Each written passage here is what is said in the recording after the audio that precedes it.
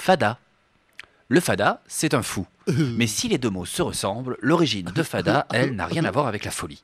Ce mot vient du latin fata, qui signifie le destin et les dieux responsables de celui-ci. Plus tard, en provençal, les fadas sont devenus les fées, et par extension, les sorts qu'elles jetaient aux pauvres humains. Après tout, il fallait bien trouver une raison à l'injustice de la nature. Et c'est avec beaucoup de poésie, et peut-être aussi pour rigoler un peu, que les simples d'esprit sont devenus les fadas, les ensorcelés. Mais voilà qui explique une autre utilisation de ce mot. On dit souvent à Marseille, lorsqu'un joueur de foot rate un tir impossible, qu'il a une jambe fadade. Une jambe ne peut pas être folle, non, ça n'a pas de sens.